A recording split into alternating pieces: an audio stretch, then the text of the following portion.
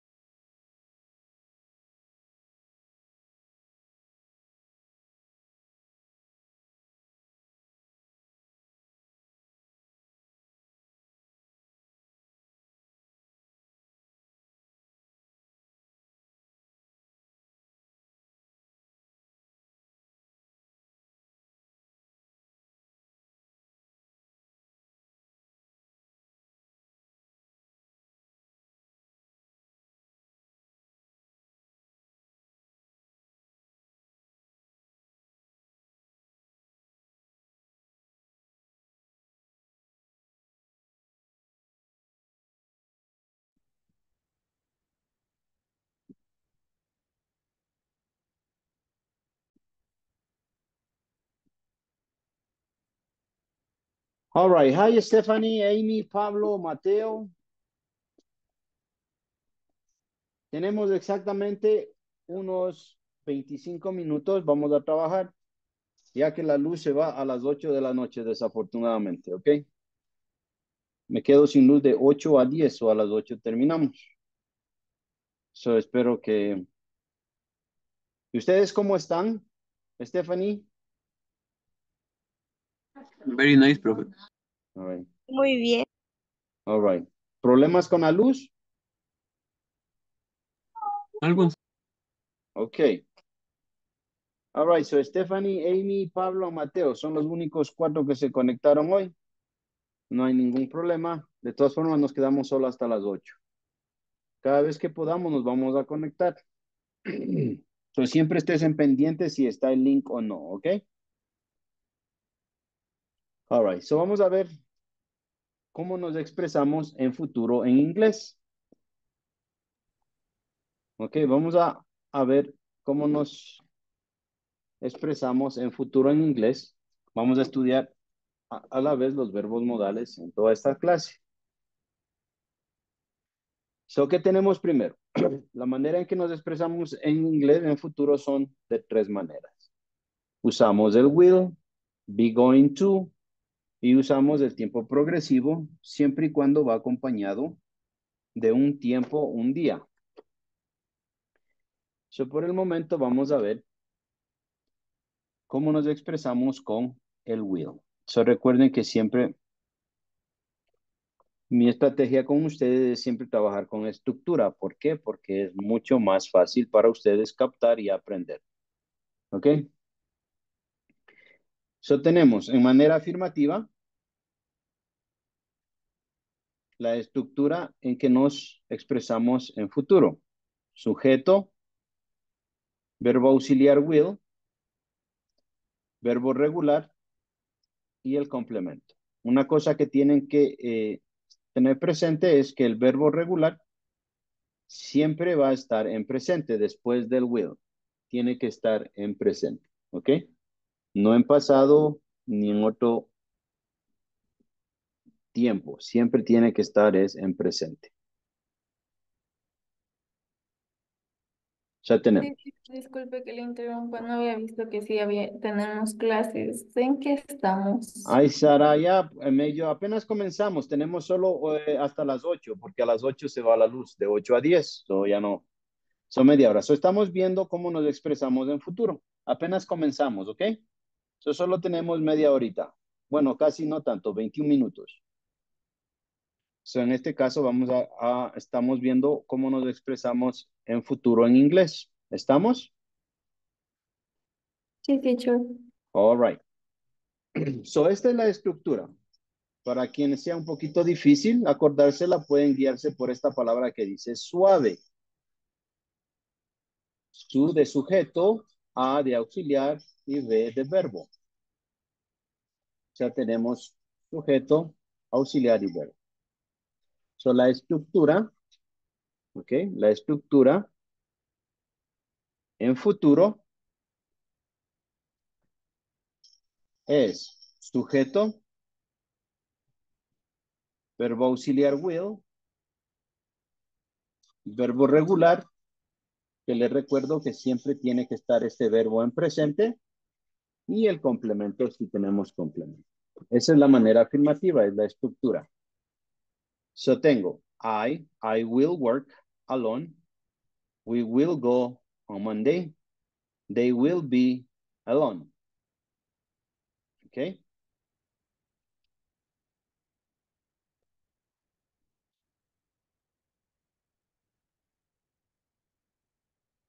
So la estructura en afirmativo, repito, sujeto, subject, auxiliary verb, will, main verb, always on present, and complement.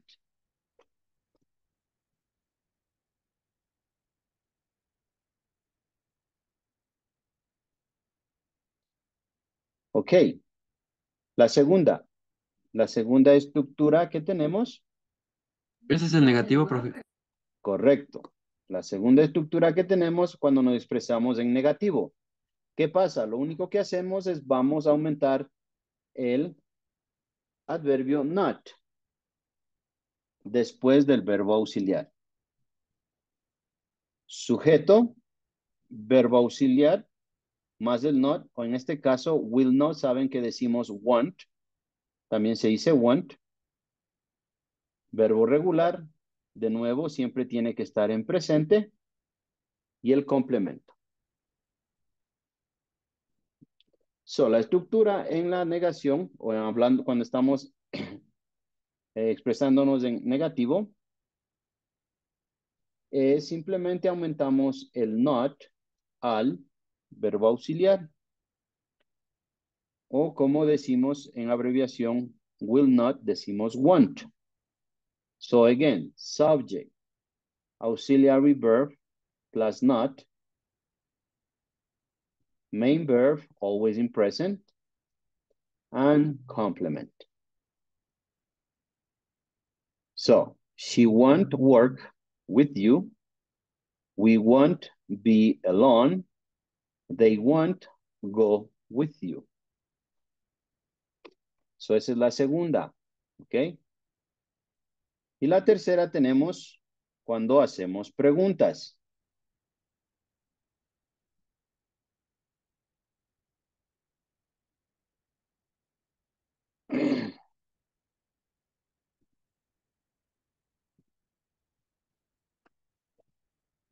¿Ok? Cuando hacemos preguntas, la estructura cambia. ¿Por qué? Porque vamos a poner el verbo auxiliar primero. Verbo auxiliar, sujeto, main verb, complement. Cuando hacemos preguntas, siempre vamos a poner el verbo auxiliar primero.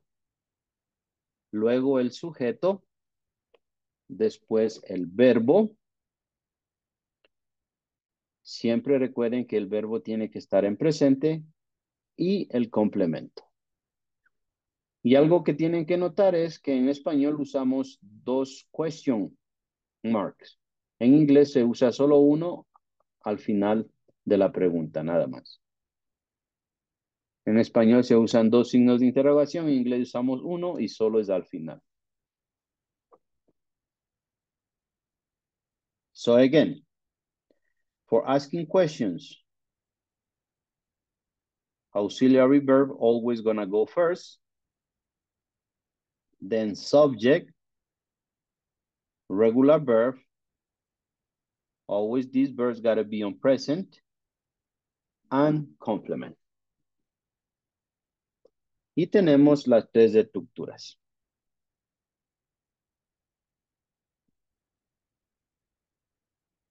¿Alguna pregunta? ¿Alguna duda?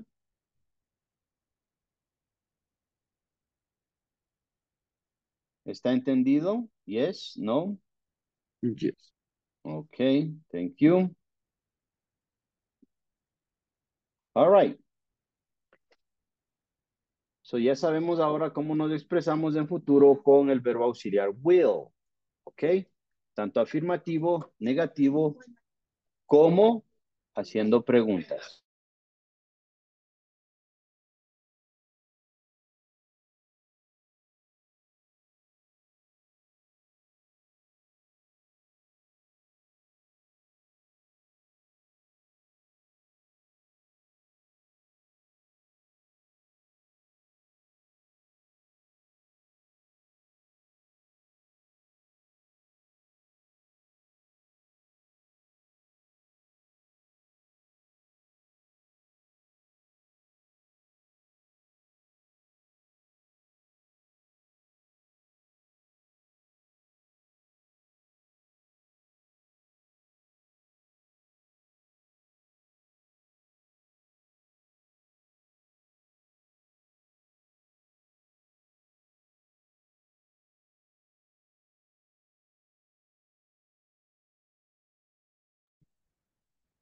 Ok.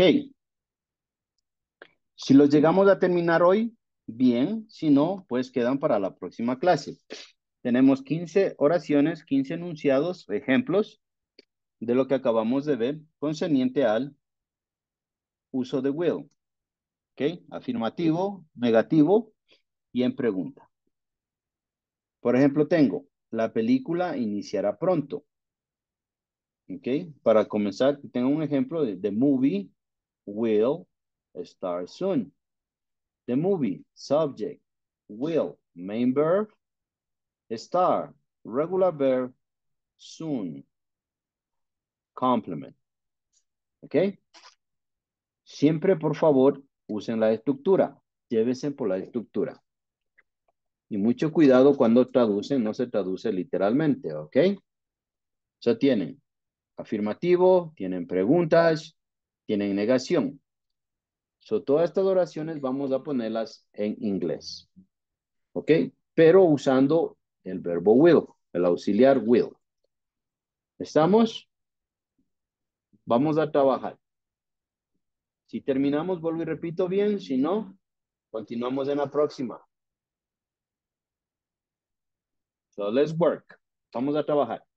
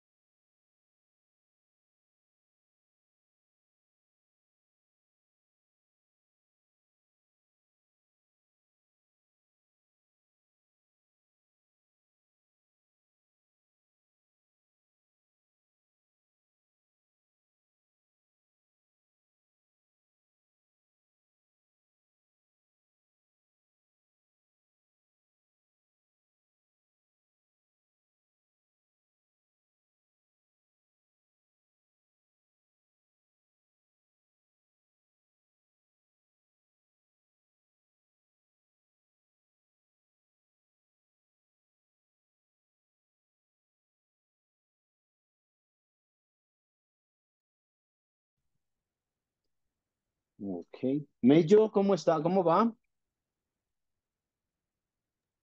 Aún no termino, teacher. Okay, that's all right. That's okay. Just work on it. Fine. Okay. Allison? Igual, teacher, aún no termino. Okay. Pablo? Eh, estoy realizando. All right. Okay. Sara?